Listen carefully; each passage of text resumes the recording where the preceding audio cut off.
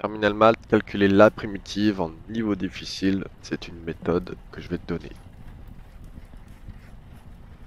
Déterminer la primitive de la fonction g qui prend la valeur de 0 en 1, donc g de x est égal à exponentielle de 1 sur x, le tout divisé par x au carré.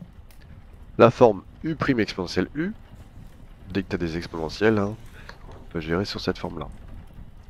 Avec u de x est égal à 1 sur x, c'est ce qu'il y a sur ma puissance. u' de x, bah, la dérivée de u de x, ça donne moins 1 sur x carré. J'observe, alors je, je, modifie légèrement l'écriture de g de x pour faire apparaître la forme u' exponentielle u. Mais attention, là je vois que 1 sur x carré, bah, c'est différent de mon u', de moins 1 sur x carré. Petite modification de g.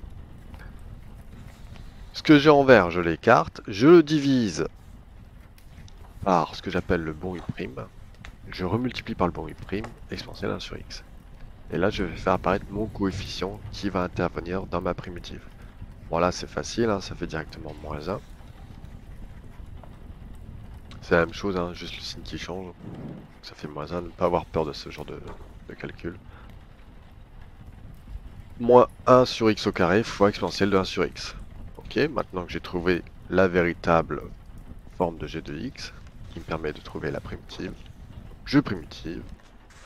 La primitive de u' de u, bah, c'est e de u. Ici, je vais garder mon coefficient que j'ai trouvé précédemment. Et je remplace u' de u par e de u. Plus c. Puisque je cherche la primitive. Donc maintenant il va falloir que je trouve c. On trouve c avec la condition. Bah, grand g de 1 est égal à 0.